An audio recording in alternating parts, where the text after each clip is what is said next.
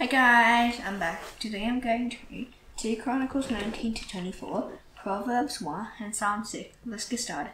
Jehoshaphat the king of Judah returned safely to his house in Jerusalem. Now Jehu the son of Hanani the seer went out to meet him and said to King Jehoshaphat, Should you help the wicked and love those who hate the Lord? Because of this wrath has gone out. Wrath has gone out against you from the Lord. Nevertheless, some good is found you, for you destroyed the Asheroth land, and have set your heart to seek God. Jehoshaphat lived at Jerusalem. And he went out again among the people from Beersheba to the hill country of Ephraim, and brought them back to the Lord, the God of their father. He appointed judges in the land of all their fortified cities of Judah.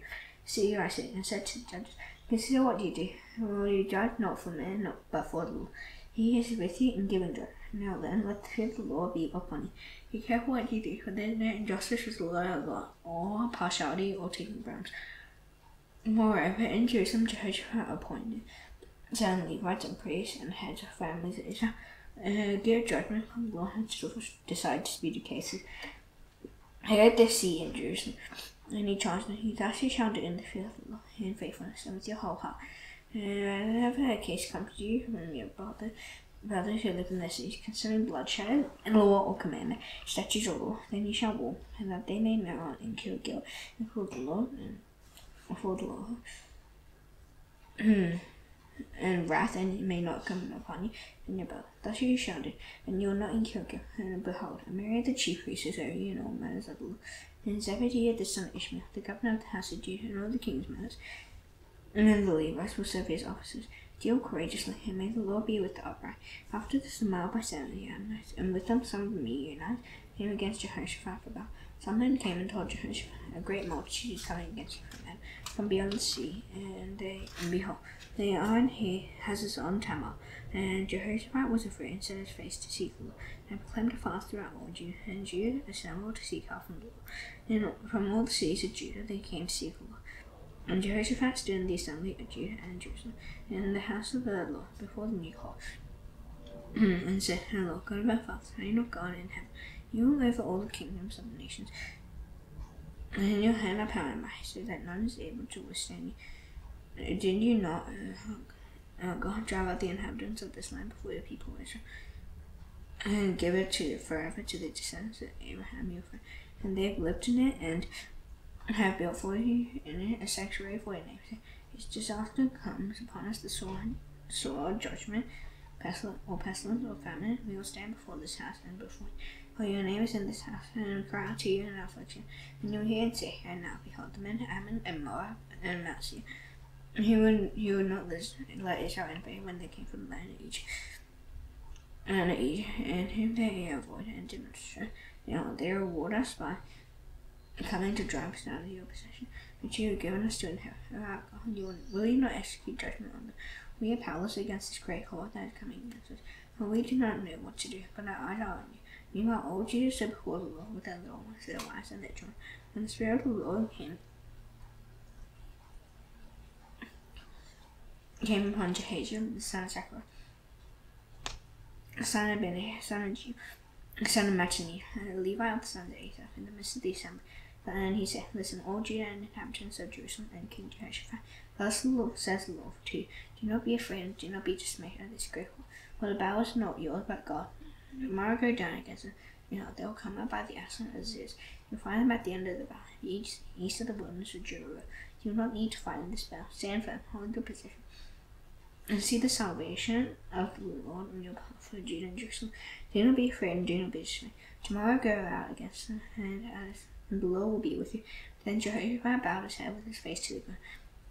And all Judah and the inhabitants of Jerusalem fell down before the Lord, the. And the Levites of the Kerethites and the Korahites stood to praise the the God of Israel, with a very loud voice. And they rose early in the morning and went out the, into the wilderness of Tekoa. And they went out, Jehoshaphat stood and said, Hear and the inhabitants of Jerusalem. Believe in the Lord your God, and you will be established. Believe his prophets, and you will succeed. And when he had taken counsel with the people, he appointed those who were to sing to the Lord and praise him in the holy attire. As they went before the army and said, Give thanks to the Lord for his steadfast love and Jehoshaphat.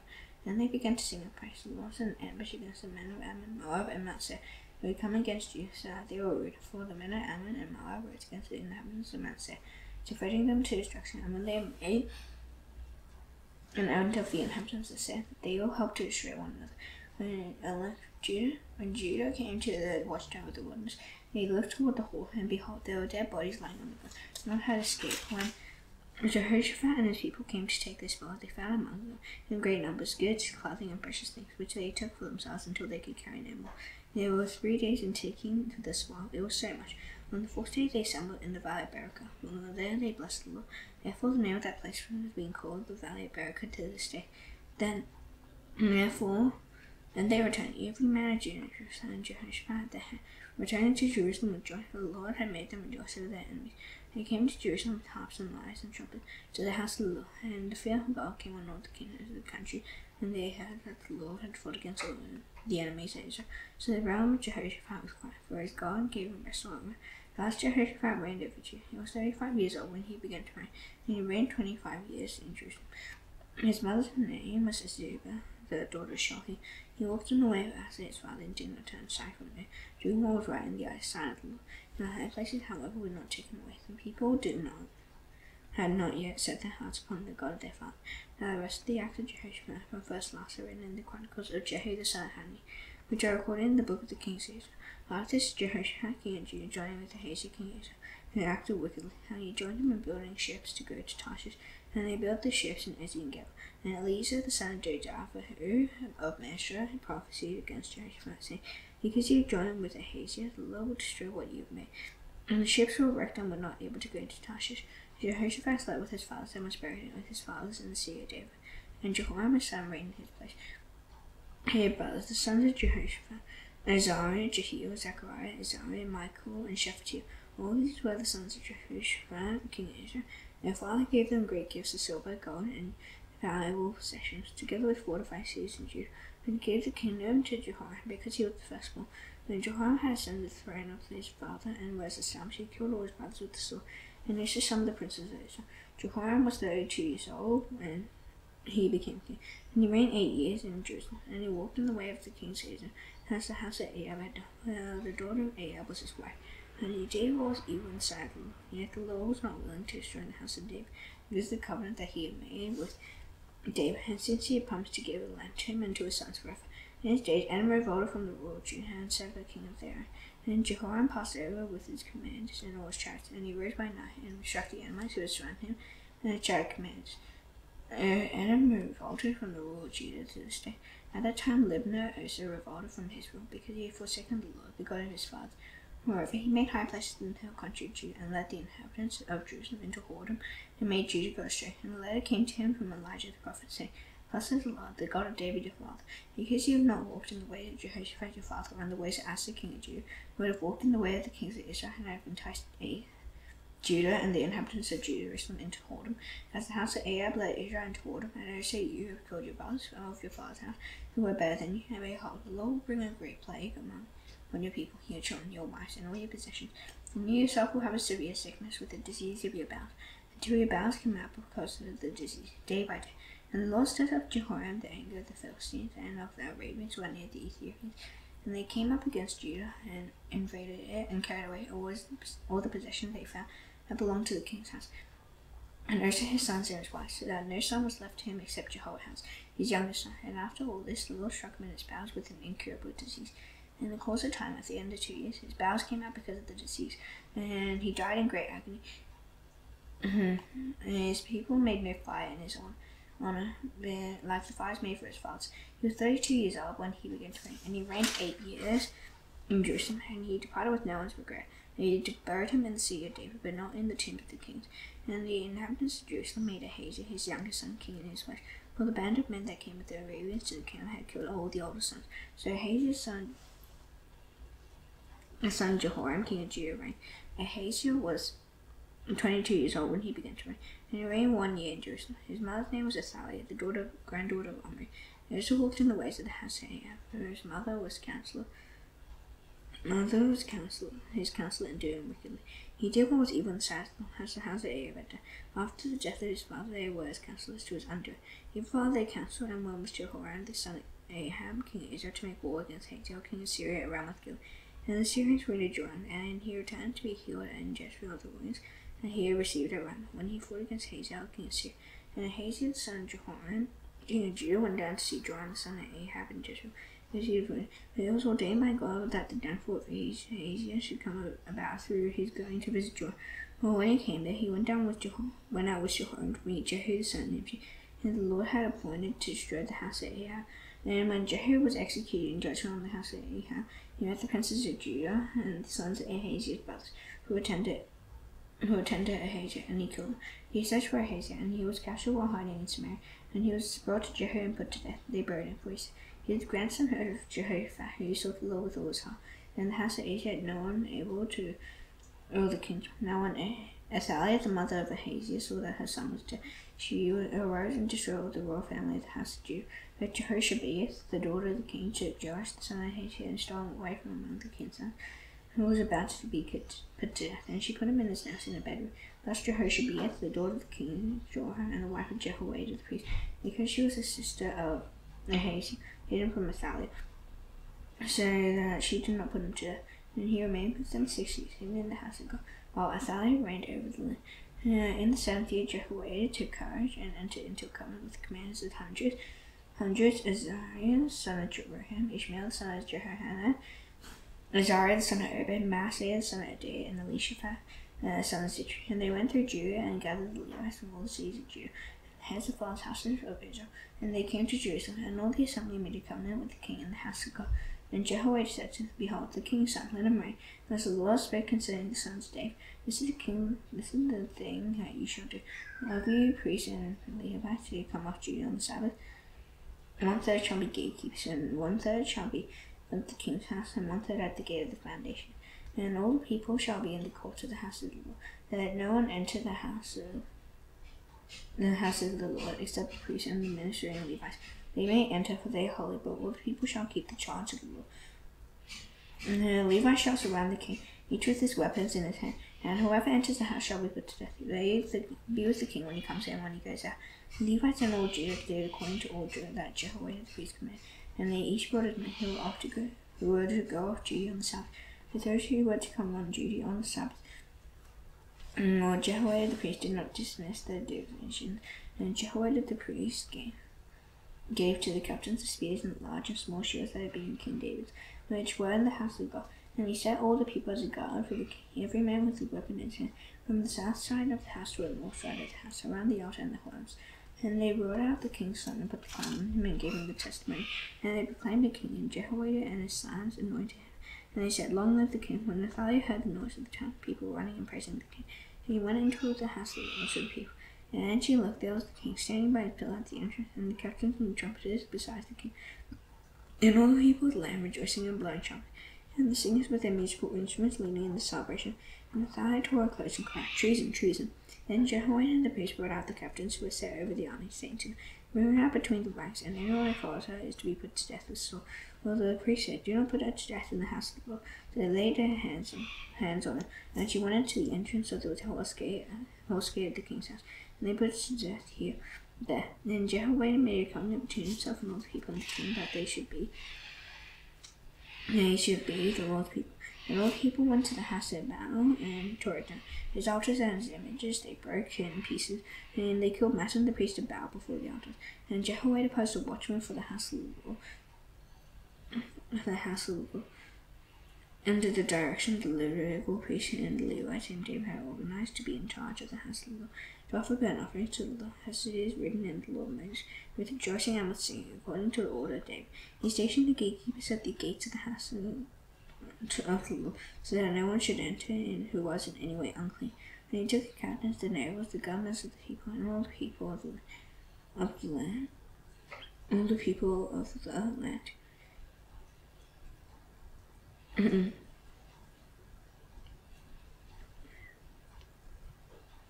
And he stationed the gatekeepers in the gates of the house of so that no one should enter in any way unclean. And he took the captains, the nobles, the governors, the people, and all the people of the land.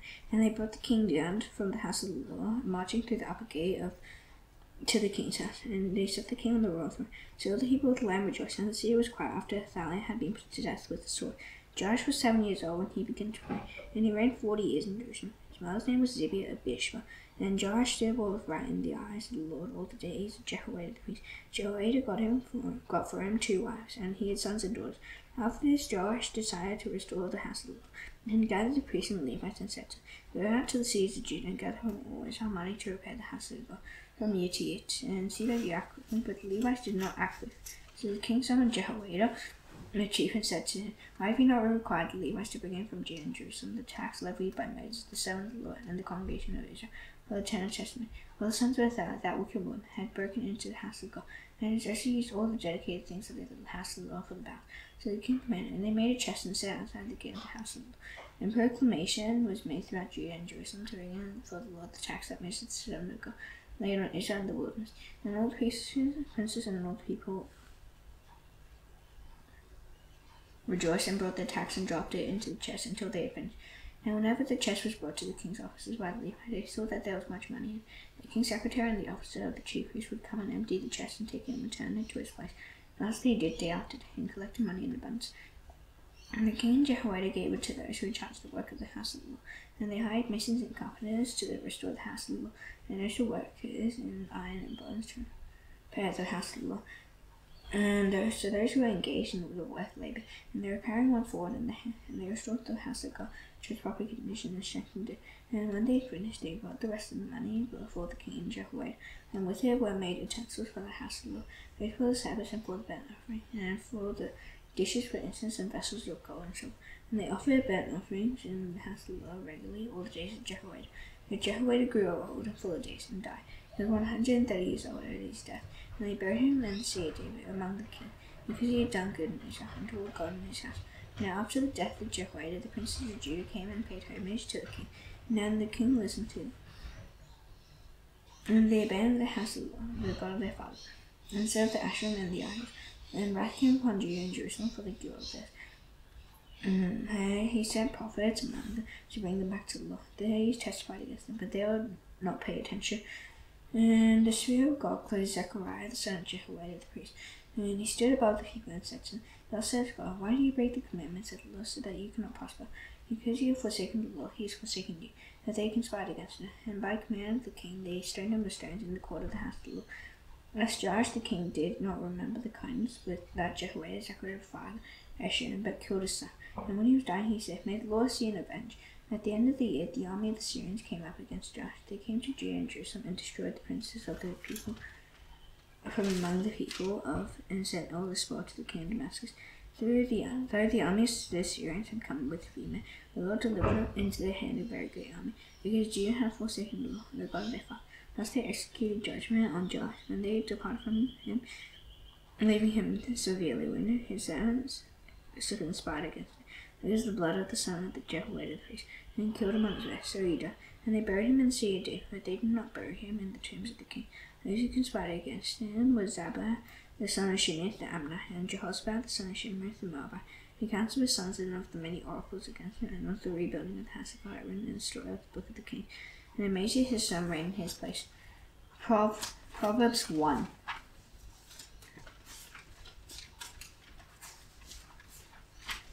The prophets of Solomon, son of David, king of Israel, to know wisdom and instruction, to understand words of insight, to receive instruction in wise dealing, in righteousness, justice, and equity, to give prudence to the simple, knowledge and discretion to the youth. Let the wise hand increase in learning, and the one who understands obtain guidance. To understand a proverb and say the words of the wise and their riddle. The fear of the Lord is the beginning of knowledge. For despise wisdom and instruction. Hear my son, your father's instruction, forsake not your mother's teaching, for they are a grateful garland for your head and pendants for your neck. My son, if sinners entice you, do not consent. If they say, Come with us, let us lie and wait for blood. Let us ambush the innocent without reason. Like shall let us call them a life and hold like those who go down to the pit. We shall find all precious goods, we shall fill our house with plunder.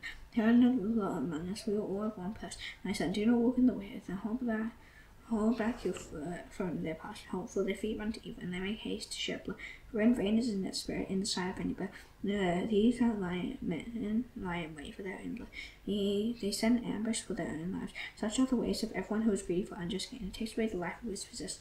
Wisdom cries aloud in the street, and the market she raises her voice at the head of the noise street. She cries out, at the entrance of the city gate she speaks. How long, as simple ones, you will you love being simple? And how long will scoffers delight in their scoffing and fool take knowledge? If you turn my reproof, behold, I'll pour out my spirit to you. I'll make my words known to you. Do that is cold, and you refuse to listen. I have stretched out my hand, and no one has heeded, because you have ignored all my counsel, and would none of my reproof. I also will laugh at your calamity. How mock when terror strikes you, and when terror strikes you like a storm, and your calamity comes like a whirlwind. And stress and anguish shall come upon you. Then they'll call upon me, and I will not answer. They'll seek me diligently, but will not find me, because they hated knowledge.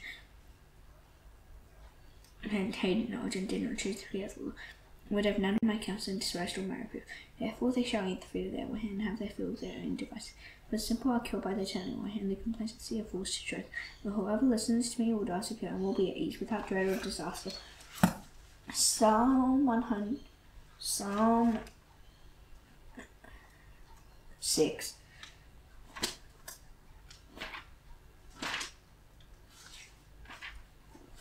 And Lord, rebuke me not in your anger, nor discipline me in your wrath. Be gracious to me, O Lord, for I am languishing. Heal me, O Lord, for my bones are troubled. My soul is greatly, uh, so is greatly troubled. Pray you, O Lord, how long? Turn, O Lord, deliver my life. Save me for the sake of your steadfast love. For in death there is no remembrance of you. Sheol who will give you praise? I am weary with my moaning. Every night I flood my bed with tears. and I drench my couch with my weeping. My eye wastes away because of grief. It grows weak because of all my foe. So far from me all your workers are evil, for the Lord has heard the sound of my weeping. The Lord has heard my plea. And the Lord set my hair. All my enemies shall be ashamed and greatly troubled. They shall turn back and be put to shame in a moment. Now that's done, I shall now do the Lord's Prayer. Please bow your heads. Father in heaven, hallowed be your name. Your kingdom come, your will be done on earth as it is in heaven. Us today our daily bread. Forgive us our debts as you have forgiven our debtors. Lead us not into temptation, but deliver us from the evil one. He is the kingdom and the power and the glory of forever. Amen. See you tomorrow. Bye.